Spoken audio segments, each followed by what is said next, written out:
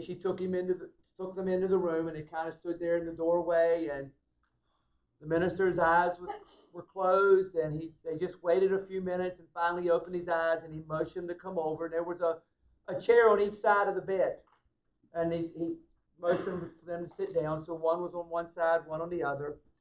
And he closed his eyes again, and it was a few moments, and it was kind of a um, an emotional scene to be there. And finally, he reached over and took each of them by the hand. Wow, this really kind of broke them. They, they were like, wow, we're here with him at, at, at the last. And and he they waited, he, he paused a few moments, and then finally the the elderly minister opened his eyes and he said, Gentlemen, you're probably wondering why I've asked you here. And they go, Yes, we, we are. This, this, this is wonderful to be here. It, it's, it's very emotional for us both, but why did you call us here? So they took, took the grip on their hands a little bit tighter. He says, All of my life, I've preached Jesus and I've done everything I could to follow him and be like him. And so as I'm getting near the end of my life, I realized that he died between two thieves, so I wanted you with me as I go. so, all right. Um, resurrecting hope. So I just I just happened to hear that. I thought that was um thought that was um pretty neat. So as so when I'm 120 and I'm getting close, and if I call some of you all in, just make sure what you, no no okay. So last week we started looking at resurrecting hope with a message called resurrection hope. Because Jesus is alive, we have hope today. And even if we get to the point it seems like things are hopeless and life is hopeless, because Jesus is alive, hope can be resurrected in our lives. We just got to look to Him and trust Him. Today, I want to share with you a story that comes from the last chapter in the Gospel of John. And the title of the message today is Do You Love Me? Do You Love Me? And some of you probably know the story that I'm going to look at, but do you love me? And as I talked about in a little intro video, so many times in how we live our lives, it's almost like we deny we know Christ. If we're not careful, we've all done that and how we lived, how we've how we've said something, how we've acted through all that. It's almost like, Lord, I don't even know you. And he simply says, Do you love me? What I want you to understand is this. No matter what we've done or where we've been or what we've gone through, he never forsakes us. At times it seems like we've turned our backs on him. And often when we do that, you know what our first response is? We're going to run and hide. Lord, I, I can't get near you. Because that's what we do in life. When we hurt others or we deny them, the first thing, the last thing we want to do is see them in Walmart. We go around the other aisle. No, no, no, no. I, I don't want to. I can't. I don't. I don't want to deal with that today. That's what we do. Notice. Notice how I said that. That's what we do. I've done it. I just. I just don't want to deal with that right now. Well, for whatever reason, we do that. But He's always there to give us resurrection hope because of who He is and what He has done for us. Let's pray. Father, we want to thank you for your love for us, that your mercy, your kindness, your goodness is, is always there. And Lord, even when we can't, even when we can't have that same type of love, Lord, you've never let us go. You keep drawing us closer so we can experience your perfect love. Lord, I pray that as we look into your word today, it'll come alive to us and Lord, we'll see and understand exactly what you have for us. Lord, I pray for the churches around this area and across the world that, Lord, today Jesus will be real. Lord, I pray for our country and for our leaders that, Lord, they will experience your goodness. And, Lord, they will take the wisdom that you give to govern and, Lord, to, to bless this nation. Lord, I pray for Christians around the world today that may be going through persecution. Lord, we don't completely understand what that is like. But Lord, we just, Lord, trust you that, Lord, your presence and your hope will be refreshed and renewed in them. Lord, we thank you for your goodness to us. We thank you that you are our blessing. And in Jesus' name we pray. Amen. Do you love me? Last week, as we looked at the as the resurrection, we saw how that Mary and the ladies they they went to the tomb on that first Easter morning, and how that when they got there, the stone was rolled away, and the Jesus' body was not there. The tomb was empty. His resurrection filled her with hope, and it, it changed everything. Then she of a sudden she encountered Jesus. She didn't realize it was him at first, and she goes, "It's Jesus." When he said her name, Mary. And she realized that Jesus was alive. And following her encounter with Christ, there were others who saw him as well. And today we discover that the love of Jesus can restore our hope even after great disappointment. Now, I want you to understand this his resurrection is not a dispute. In fact, last night, I don't know if I was on Facebook or Instagram, but I happened to notice somebody was talking about the 11 disciples and how that the, the uh, 11 of the 12, Judas hung himself, but how that 10 of the other 11, how that they died. How that they were martyred. And up until the point of their death, they never denied the fact that Jesus had resurrected. If it was a lie, why would you keep that lie and perpetuate it if it could save your life? They, they kept that. We know that he was seen by the, the apostles and by the women. We know that by 500 people saw Jesus after his resurrection. It is a fact that Jesus is alive, that he rose from the dead. His body was not in the grave. And because of that, even despite our disappointments and our denial, Jesus is still there and he loves us. One of the greatest challenges that each one of us face in life is how to handle relationships. Learning to apologize and forgive are some of the most difficult tasks that we undertake. How many remember the TV um, um, series Happy Days? Okay. Fonzie, what was the hardest thing for him to say? I'm sorry. He never could get it out. I'm sorry. He never could say it. And the hardest thing for us to do a lot of times is to fess up to the fact that we messed up and we got to apologize. When we experience brokenness between husbands and wives, between parents and children, or between friends, it robs us of the hope of what that relationship could be like. But in and through the power of Christ, we can find new hope.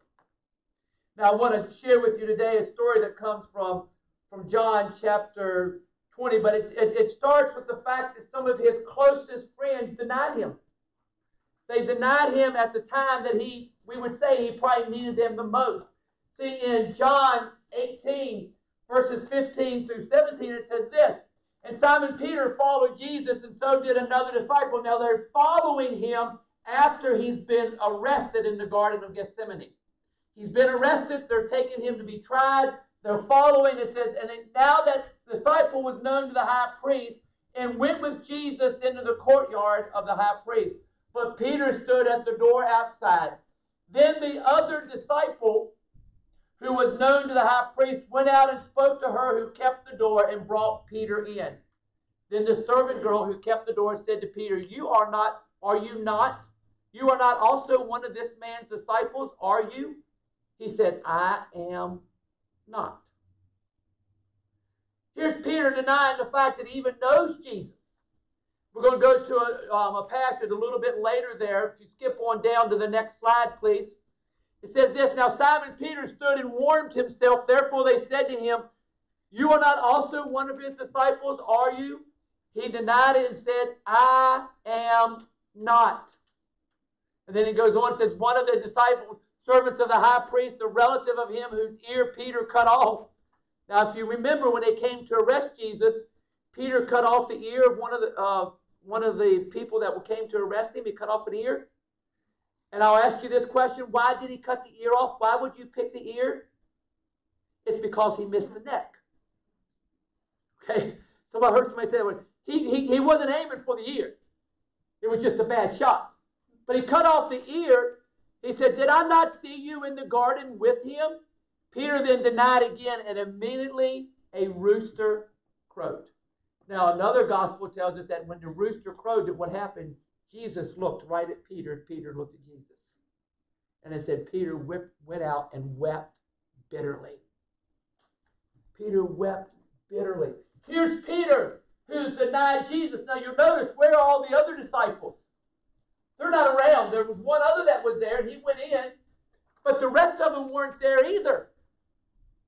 So Jesus is basically there alone in his, his darkest time and a time that he was he needed him and he was betrayed. And Peter betrayed him. After three years of ministry with Jesus, Peter refuses to remain loyal and he denies connection to Christ. Three times, Peter says, I do not know. And there was one, one of the Gospels says that Peter acted like cursed. I don't know this man. He got angry. Don't ask. I do not know him. And Peter denied. Now, I think a lot of times Peter gets a bad rap because of his brashness and his boldness. And, and we think, if we think about it in our lives, how many times have we basically said, I don't know him? You know, yeah, those, those Christian people, those people that go to church, come on now, they're a little weird. Yet you come every Sunday. Uh, no, no, I, I, I'm not going. I'm not going to be a part of that crowd. That's what we do so many times. Maybe it's not by words. Maybe it's by our, our actions, or or not just what we do, but maybe what we don't do. But Peter betrayed Jesus. But see, our lives show our connection to Jesus.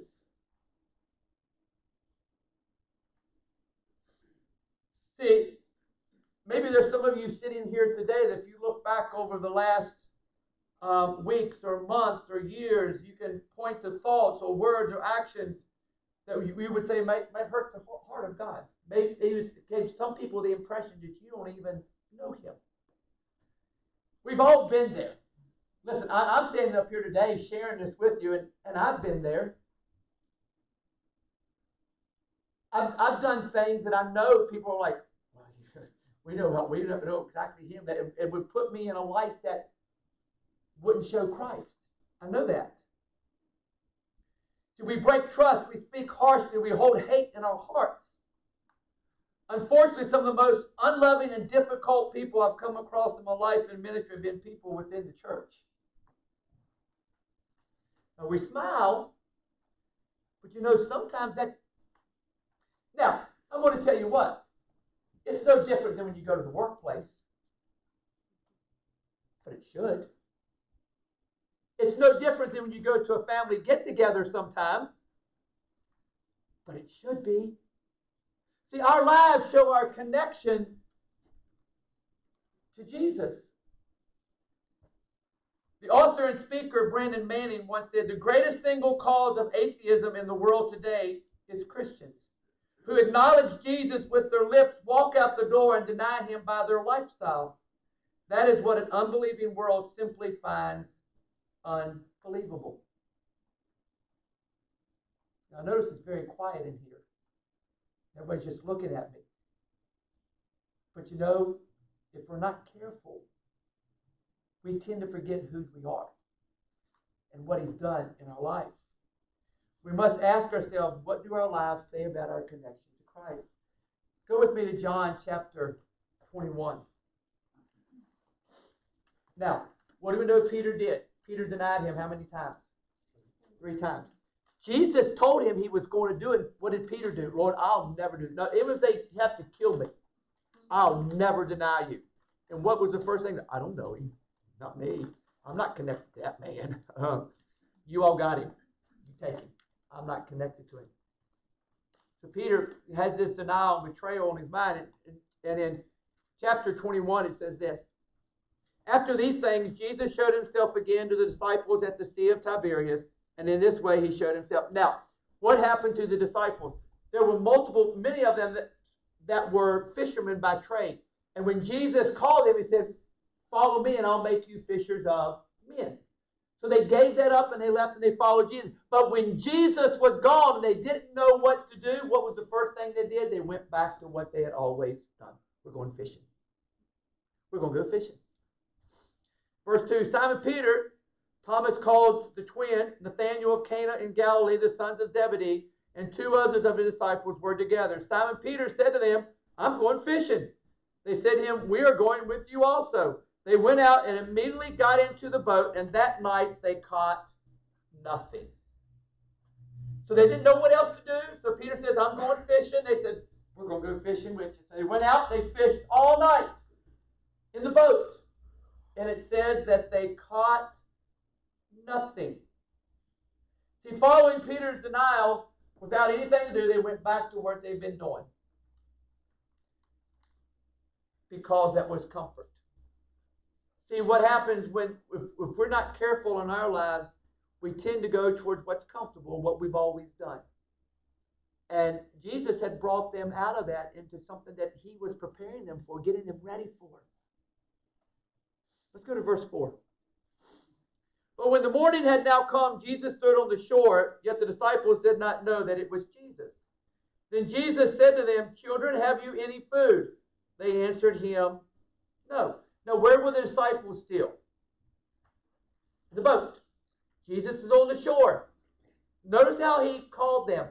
Children, have you any food? They answered, No.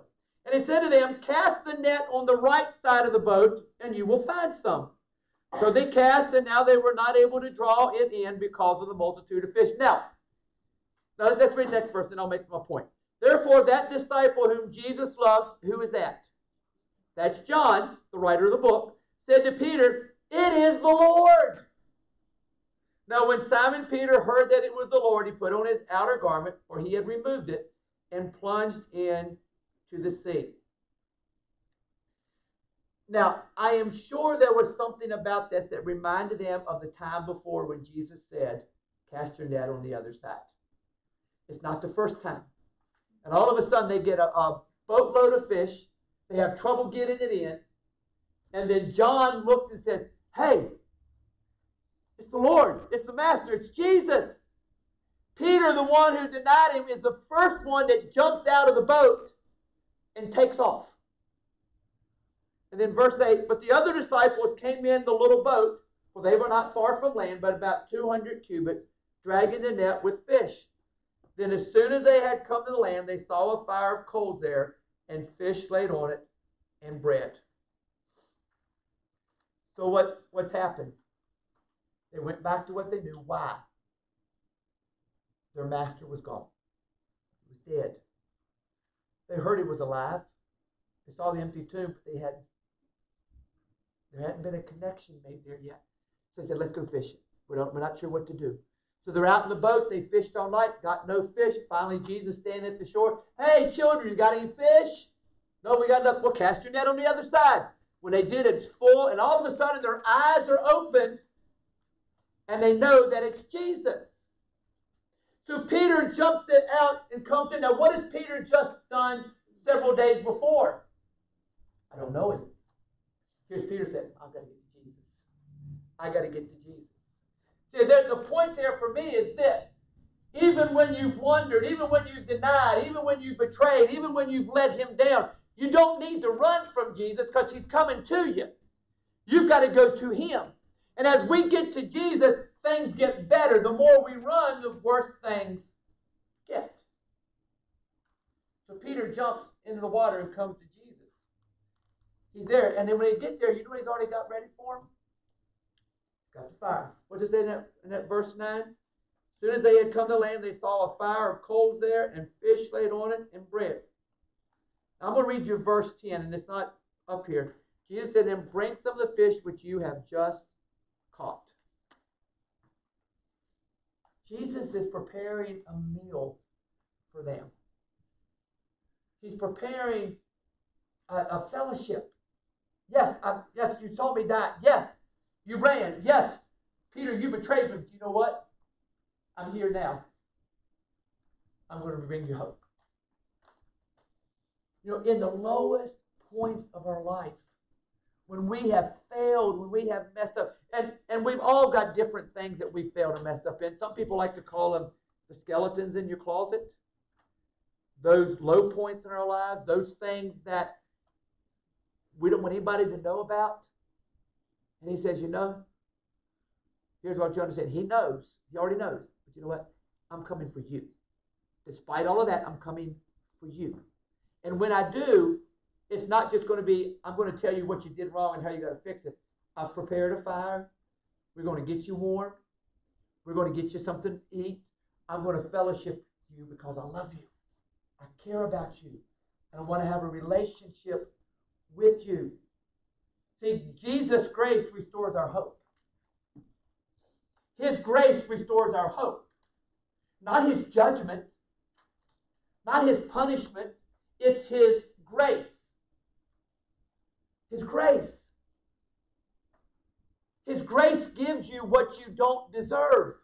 It's His grace. See, mercy doesn't give you what you do deserve. There were times when I was growing up, I deserved a spanking, and my dad told me I was getting one. But we prayed enough, we were quiet enough that he didn't do it. That was mercy. I don't think he forgot.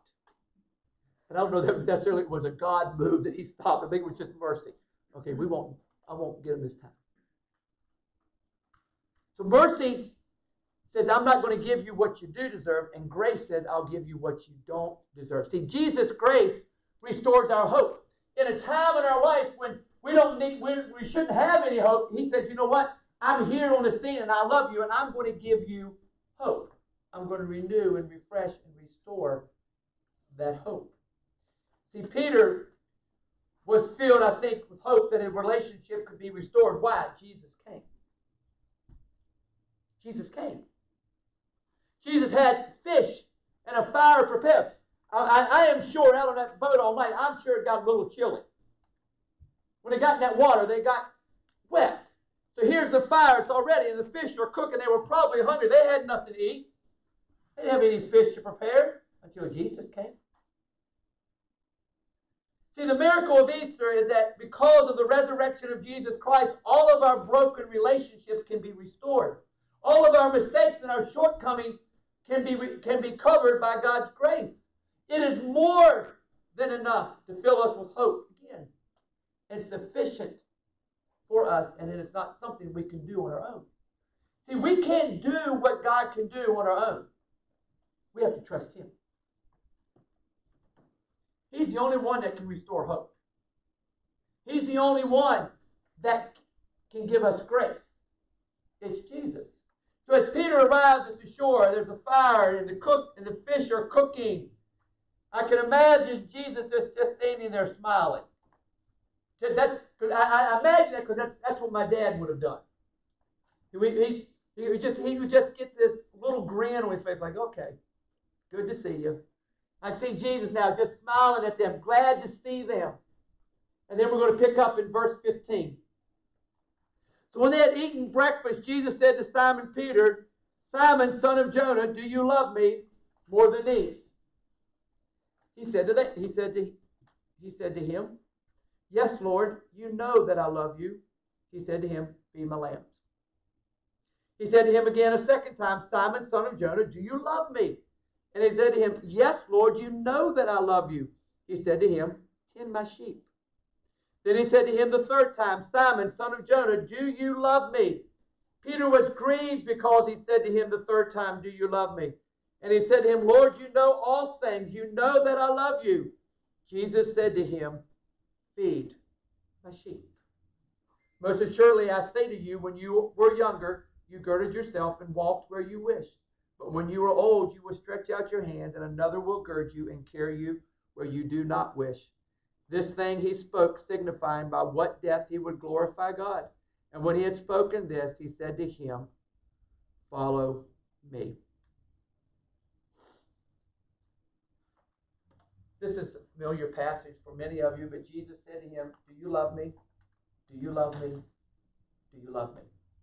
And some have surmised that Jesus asked him three times because of the fact that Peter denied him three times, and that's and that's um, very plausible. We don't have scriptural scripture reference for anything like that in there.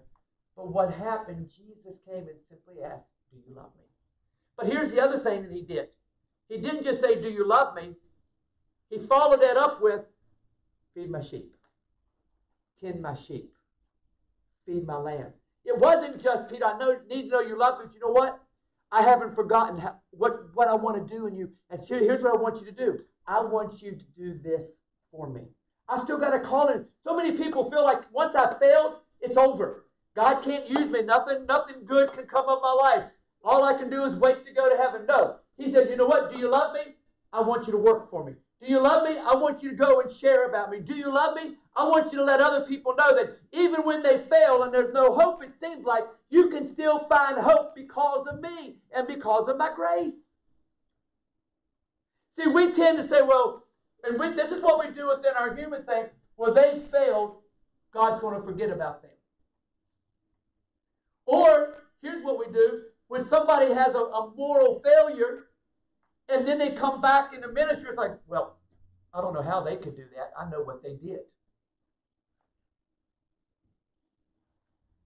His grace restores hope. And Scripture tells us His grace is sufficient. No matter what you're going through, whether the pain, the suffering, it's His grace that is a hope. See, He asked him three times, "Do you love me?" Now here, I want to share this with you about these three times. In in the Greek, which the New Testament was written in, there's different words for different types of love. What do they call Philadelphia? The city of brotherly love. That Philadelphia, that phileo, is a type of brotherly love. Agape is the greatest type of love that, that's mentioned in the Bible. There's a love that, that's for like a husband and a wife. There, there's a, a friend type of thing.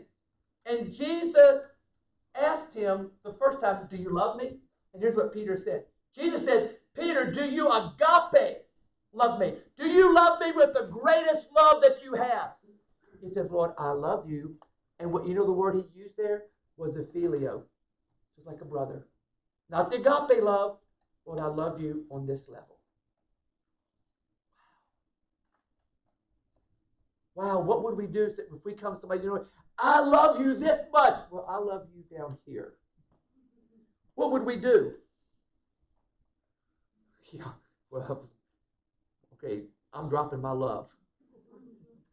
But you know what Jesus did the second time? Peter, do you love me? Agape. And Peter said, Lord, I love you. Phileo, down here.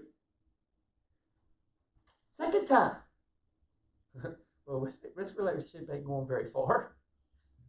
Just imagine if you ask someone that you're engaged to, Do you love me here? I love you here. That's not very good. Do you know what Jesus did a third time? Do you love me? I'm going to come to where you're at, Peter. Yes, Lord, I love you. Tend my sheep. See, he understood what was going on in Peter's life. He understands where you're at. Now, he wants our love to grow. And, our, and as we as we do, as we get in his word, as we go through life and we see him work, I believe our love grows. But he was saying, Peter, do you love me here? And he said, Lord, I, I, am here right now. And finally, Jesus said, Well, I'll take what you got, and Peter, love me. See, the grace restores the hope. Yes, we want to love him so deep and so passionately, but sometimes, you know what, things in life and where we're at, we're, we're here. He says, you know what? I'm going to meet you where you're at. And you know what? And through that, we're going to grow. We can grow in love. We can grow deeper with him. We can understand more about him. But just because maybe we're not where we think we ought to be, God's not going to cast you away. He's going to say, Do you love me? Take what you got. And I want it to grow. Now, Later on, what do we know about Peter's love? Oh, it was a love that it seemed to be very deep. I mean, he actually, when he when he was crucified, he was crucified upside down. He said, I don't want to be crucified like my Lord. Turn me upside down, basically. He went to the cross knowing that he was going to die. Why? Because he loved Jesus so deeply. He was one of those disciples that said, you know what? We know that he's risen. We're not going to deny the fact that he's alive. Peter loved Jesus, and Jesus loved Peter. It was his grace that came. See, Peter's denial was met with restoration that came through Jesus. See, a love for Jesus is proven by our life for Jesus. Now, I want, I want to make sure you understand what I'm saying. Let me read a scripture with to you, and then I want to make sure we understand this. Love for Jesus is proven by life for Jesus. Let's go to the scripture if we can. Now, by this we know that we know him if we keep his commandments. He who says, I know him and does not keep his commandments is a liar, and the truth is not in him. Now, stop there for just a second. That's pretty tough, ain't it? How many has kept all of his commandments? Come on, it's got to be at least one. All of the commandments? He says, you know what? You got to keep them all. And you know what it says? If you don't keep them all, what does that mean? You're guilty of all of them. Well, Pastor, I've never murdered anybody. That's true. Maybe you haven't. But if you've told a lie, if I went around here and asked how many from the time you were born to this day have ever told a lie, I would bet there's very few of you that haven't told one. So, Pastor, was just a little white lie. It actually helped them out. By me lying, I, I helped, it hurt, didn't hurt them. You know what a lie is? An untruth. Whether it's white, black, red, blue. You know what he says? He says, if you've told broken one, you know what you've done, you've broken them all. And here's what he says. He who says, I know him and does not keep his commandments is a liar, and the truth is not in him. Oh my gosh. Go to the next part of it. But whoever keeps his word, truly the love of God is perfected in him. By this we know that we are in him. He who says he abides in him ought himself also to walk just as he walked. But whoever keeps his word, truly the love of God is perfected in him. By this we know that we are in him. See, here's what happens His grace saves us. And he says, You know what? I'm going to do for you what you can't do on your own. I'm going to make you right with God. I'm going to make you holy. I'm going to make you justified.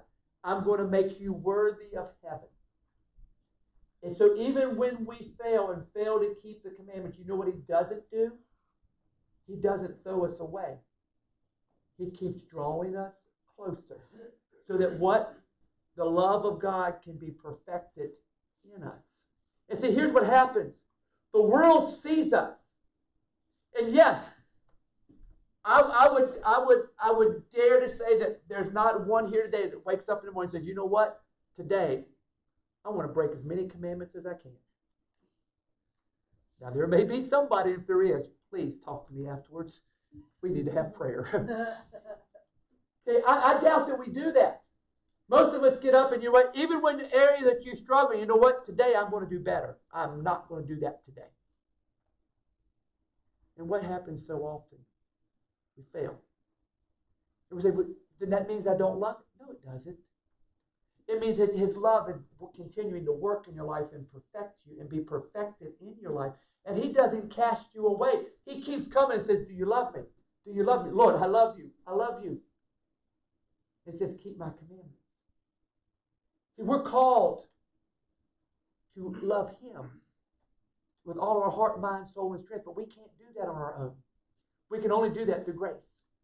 And because we know that He loves us.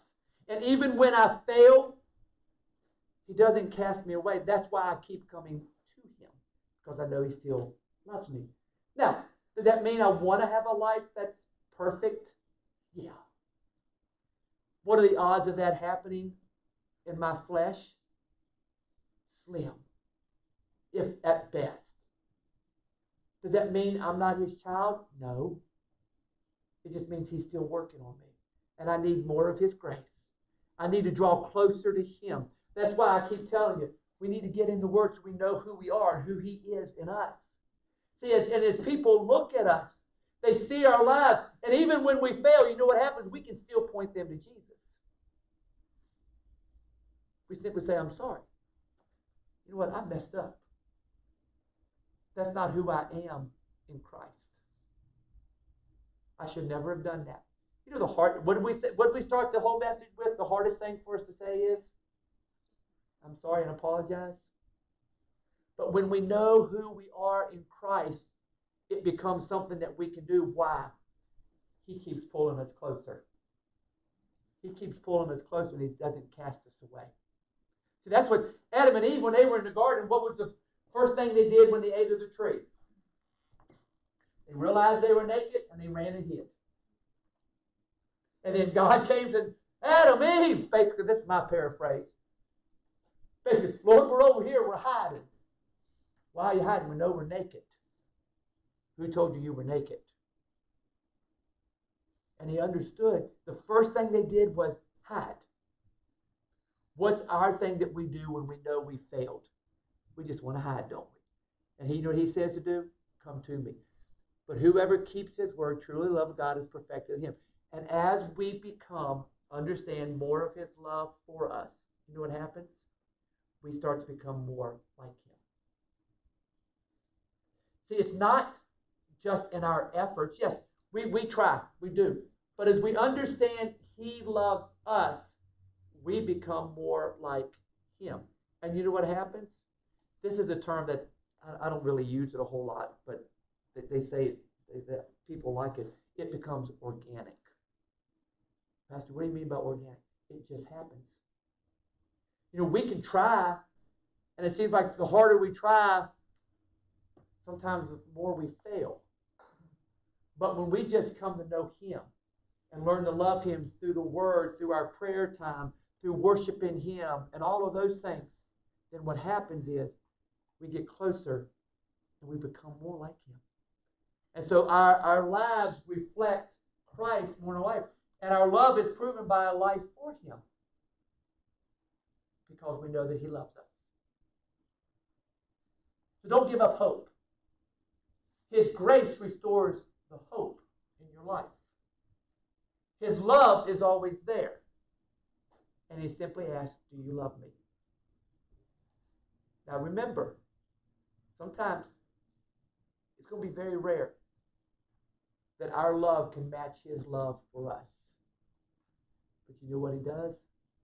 He takes it and he grows us. And we get closer and closer to him. it's an amazing thing how that happens. we feel like we're, we're, Lord, I'm not close enough to you. He goes, I'm right there with you, and I'm walking with you and drawing you to me. He loves you. He loves you. He's never going to let you go. And hope is yours because of Jesus and his grace. Let's pray. Father, we want to thank you for your goodness to us, for your love and for the fact that you never let us go. Even when we fail, even when we struggle, even, Lord, when we would deny you. Lord, you, you said you're always there. Lord, even in our best efforts, we come up short. Lord, even when we try to be perfect, we tend to fail. Because, Lord, we don't understand. Lord, within the flesh. We can't. But in your power and your strength and in your grace, we can become more like you. And our love can grow deeper and deeper. Holy Spirit, I ask that you speak to each heart today. Lord, there are some here today that, Lord, they've, they've lost hope because they thought they loved you at a certain level, and Lord, they failed. And Lord, they just, they'd rather hide than to come mm. closer. Holy Spirit, draw them today. Let them know they are loved. That the Creator of the universe, the God of everything, loves them and will never let them go. Even in the midst of their failure, He's going to come looking for them. Holy Spirit, speak to the hearts today. I'm going to take, I'm going to pause here for just a moment. I'm just going to let you talk to God. Going to let Holy Spirit talk to your life. Maybe you're here today and you failed. You felt like you, that you're not as close as you used to be. Maybe your failure has caused you to pull away. I want you to right now just talk to God. Let Him love you today and let you and sense His love right now. You just take this time and just talk to the Lord?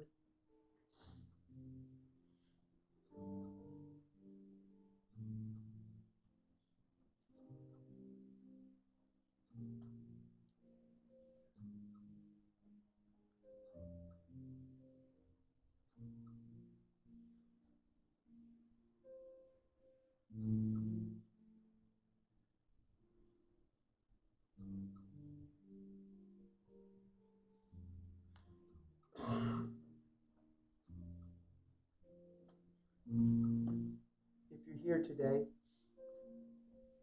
and you've never made a relationship with Jesus, you've never confessed Him as Lord and never confessed that you believe He rose from the dead and allowed Him to take away all of the sins from your life, I want to ask you to pray with me in just a moment. I want to pray a prayer that comes straight from Scripture. And we're going to believe that He's going to change your life that He's going to save you. He's going to take away your sins. He's going to make you a child of God. If you've prayed this in the past and you know that, that you've been saved and he, He's your Lord, pray it once again for those that may be praying it for the first time. And if this is the first time you've prayed this, I want you to believe it as you pray. Say, Dear Jesus, thank you for loving me. I believe you are the Christ, the Son of God. I believe that you died on the cross and that you rose from the dead. Based on that confession, I am saved. My sins are gone. I'm a child of God. You've changed my destiny. In Jesus' name, amen. Would you stand right now?